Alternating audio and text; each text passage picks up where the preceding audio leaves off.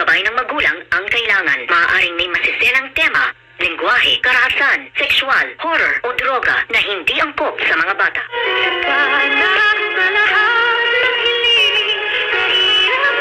Moira humingi na nga ng tawad kang Giselle. Nga kaganapan sa abot kamay na pangarap ngayon, hingi na nga ng sorry itong si Moira kang Giselle dahil nga sa nangyari.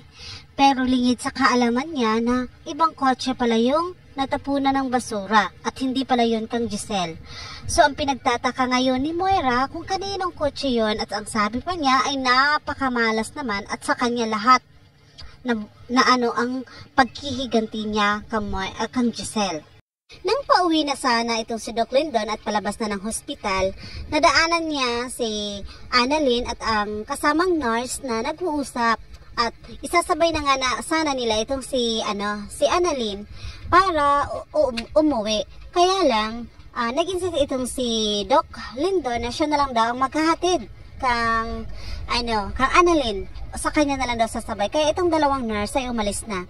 At ito, dahil nga sa napag-usapan nga ni Annalyn at saka yung nurse, dalawang nurse na kung ah, paano na lang kung ah, ano bang gina ano bang dapat gawin para ah, mawala yung mga manliligaw niya kung ano ba pwedeng gawin kasi hindi pa nga daw siya ready.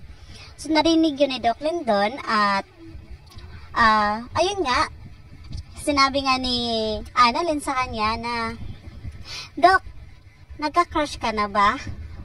So, biglang na ano si Doc Lindon. Ah, parang natigilan siya kasi papalabas na sana siya. At natigilan siya. So, ang sinagot niya, ikaw. Ah, yun sa ano lang guys, natahimik. At hindi siya makapaniwala pero binawi ni Doc Lindon yung sabi niya, ikaw ba? Ay, sasabay sa akin o hindi? Kasi ako aalis na ako. Kanina pa kita tinatanong. O diba? Grabe yung ano ni Doc Lindon. Iniba niya kaagad yung usapan. So alam naman natin guys na itong si Doc Lindon ay nagkakagusto na nga dito kang Annalyn. Kahit hindi pa natin aminin or sabihin nagkakagusto na nga siya kang Annalyn. So, ayun na nga, palabas na sila sa ospital nang pumunta si nasa ano na sila, sa sasakyan na sila ni Doc Lindon, pagbukas nila ay nakabungad sa kanila yung napakaraming basura.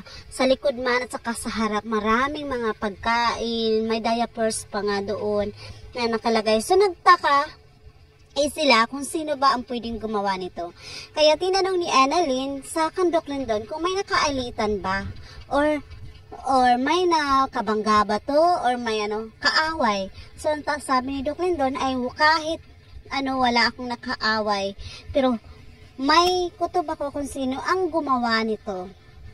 So, ang isip nga ni Doc Lindon ay ang gumawa ay yung mag-inang Moira at Zoe. Nagalit ni Doc Lindon ay hindi niya talaga nilinis ang kotse niya. Pinabutan niya pa ng kina uma, ah, umaga, hindi talaga yan nilinis at nakita nga siya ni Annalyn na sabi niya, Doc, ah, nakita ko yung kotse mo, nandun pa rin yung basura. So nagalit nga ito ka Annalyn at sinigawan niya, mm, nga niya ito at sinabi ang wag na wag kang makikialam dito at wag na wag mong i-attempt na linisin yung sasakyan ko. Kasi may dapat, ah, may pwedeng, ah, may dapat na ah, maglinis doon. So, hindi nga, lingit sa kaalaman nga ni Annalyn, itong si Doc Lindon ay pumunta na nga sa Apex para hanapin itong si Moira. So, hindi niya naabutan kaagad si Moira kasi si Moira may inaano nga pasyente na VIP. So, ayun na nga, nagkausap nga itong si Annalie, ah, Zoe at Lindon at na sobrang galit nga niya kasi ano, nanggigigil siya. Nasabi niya dito kan Zoe na sampid nga siya. Sampid ka lang. Yun ang sabi talaga ni Lindon. Pero ang sabi ni Zoe sa kanya, ako, sampid, kung sam, hin, ang sampid dito ay si Annalyn at hindi ako. Hindi nga nakatiis itong si Doc Lindon at nasabi nga niya, hindi ikaw ang tunay na anak ni Doc RJ, kundi si Annalyn. Ikaw anak ka ni Doc Carlos. So yun guys, hindi makapaniwala itong si Zoe na alam pala ni Don, Don ah, Doc Carlo, ah, Doc Lindon ang mga sekreto nila. So, ayun na, si Zoe na nga lahat ang naglinis ng kotse. Si Zoe na nga lahat ang nag-ano kasi nga natatakot siya sa mga pwedeng gawin ni Doc Lindon. Kasi itong mami niya ay busy nga, busy nga ito sa pag-aano ng VIP na cost, uh, yung VIP ng ano, uh, nagpa-check up sa kanila. At ang VIP ito ay napakalaking tulong daw ito sa Apex at kang RG dati. So ngayon guys, ay nagka-problema nga itong si Moira at Dr. Ray kasi lilipat nga daw itong ano, pasyenteng VIP nila sa E-Stretch kasi kulang nga ang apex ng mga uh, equipments para sa operasyon niya para sa mga test ng ano niya, utak niya. So lilipat itong VIP na to at nagagalit na naman itong si Moira kasi bakit alam ni Lynette lahat na ano, so ang sinabi niya dito ay may ano daw, may nag lalabas na ng impormasyon galing sa Apex papunta sa Eastern. So may naghahatid nga daw ng ano balitang 'yon. Yun ay inaalam pa ni Moira.